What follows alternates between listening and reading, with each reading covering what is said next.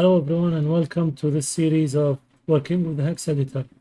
So in this video we want to start talking about uh, offsets but before I do that excuse me before I do that let's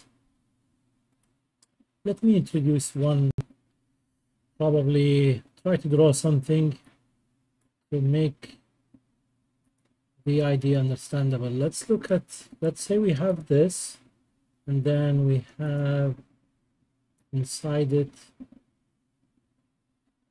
uh, let's see this boxes okay. So each one of these will be uh, holding an item okay. This is by the way an array. Yeah, you can also if you know what an array is if you don't just think of them as a bunch of boxes. Each box will be holding an item okay.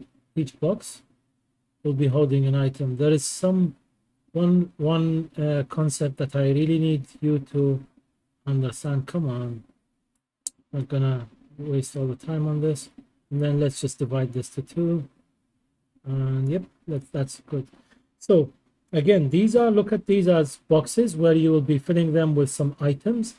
Now in computers, mostly the numbering starts with so when we number the boxes, when we number our first box, what happened? Okay, so let's do 20. When we number our first box, it will be numbered as, so the first box will be number zero, our second box will be number one, our third will be number two, and our fourth will be number three, our fifth, number four, and so on and so forth. So I'm just going to continue to numbering these so we can understand the whole idea. Now, again, in computers, the boxes start the indexing with 0, 1, 2, 3, 4, 5, 6. Now, that's the index, okay, of these boxes. Okay, so that's the index of these boxes.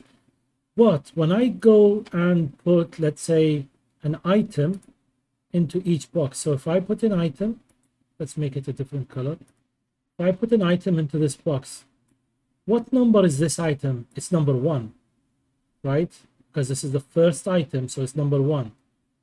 When I put another item, this is number two, third, number three, fourth, number four, number five, number six, number seven.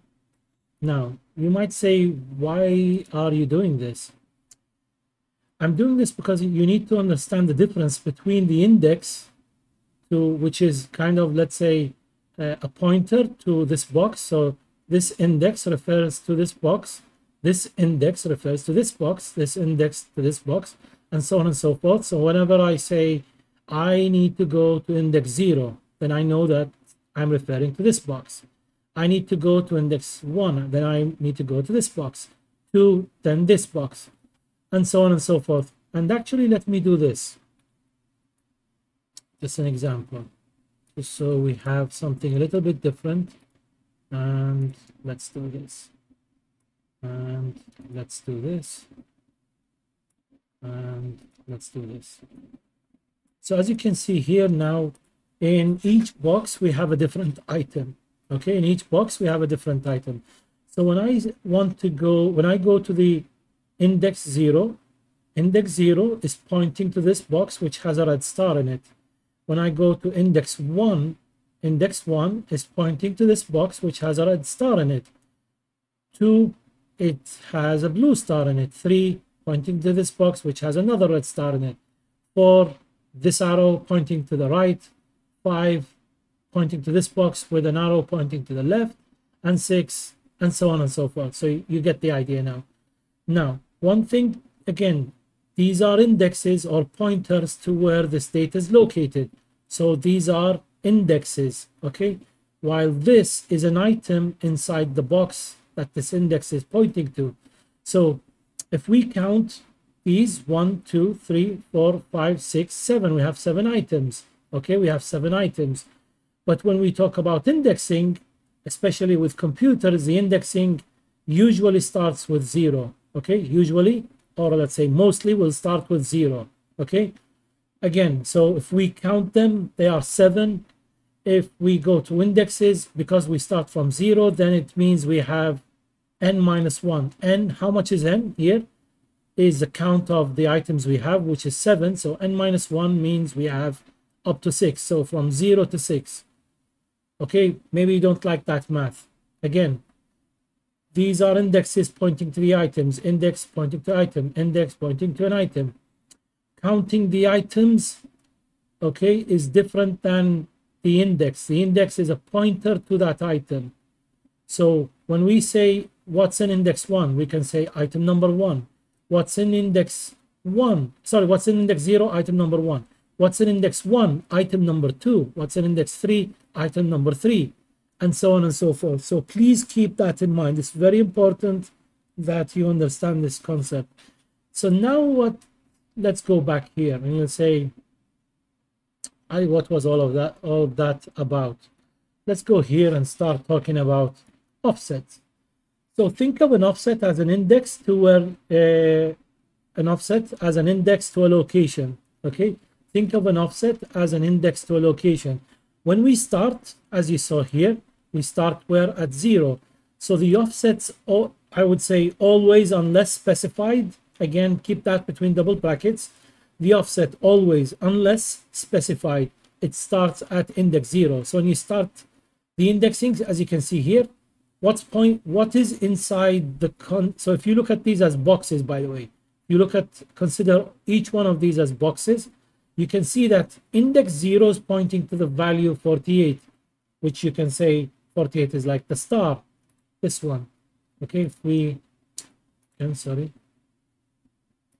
So you can say index 0 is pointing to the, the star 48, index 1 is pointing to the star 65, index 2 is pointing to the star 6C, and 3 to star 6C, and so on and so forth. Okay, the indexes will start at 0, the indexes will start at 0. So when I say I want to go to index number 8 or to offset number 8, that's what we, you, you will mostly be using, by the way. Mostly you will be using the word offset okay?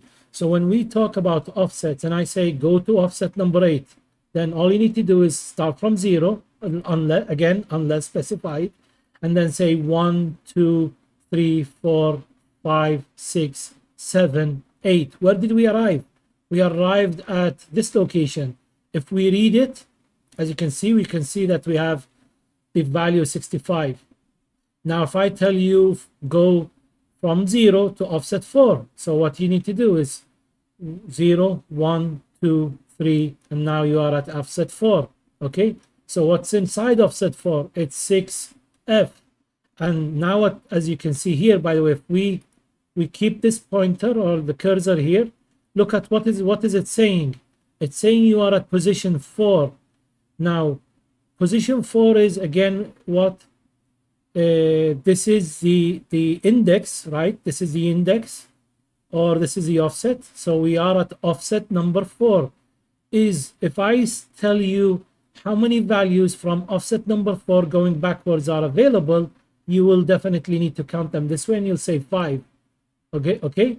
Again let's go back and say let's go to offset 16 so if we count 16 1 2 3 4 5, 6, 7, 8, 9, 10, 11, 12, 13, 14, 15, 16. So you can see I know how to count. So that's good. Okay. And you can see now where is the cursor? The cursor is pointing here. Why?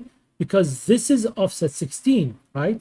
10, uh, 10 uh, hex in, uh, hexadecimal is actually what is uh, 10h is actually uh, 16 and we just counted them. Again from 0 to 9 that's 10 and then we have 1 2 3 4 5 6 so now we are at offset 16 if i say go to offset 32 what you need to do again if from the beginning this is 16 and if we calculate another 16 this is 32 now we are pointing at this location if i tell you add another 16 so we're talking about 48 then this is what this is 48 and as you can see where is the cursor now? The cursor is over here. What's the position or what's the offset? The offset is 48. Okay, so I hope by now you know what an offset is. Again, in computers, we will start at zero unless specified. And this is very, very, very, I know I don't know how many how many times I need to say this. Important that you understand what an offset is or a position. As you can see here, 010 uh, uh, calls it a position. It's the same, by the way, as using the word offset. Okay, it's telling you that we are now at position zero. What's in position zero? In position zero is our first item or our first value, which is 48. What's in position one?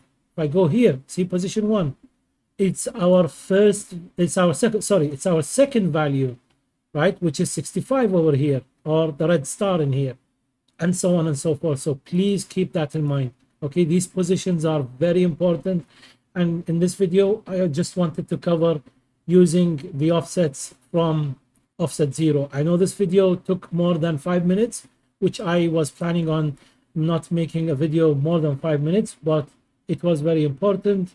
Hopefully we'll go back to shorter videos and that's it for this one and see you in the next one. Bye-bye.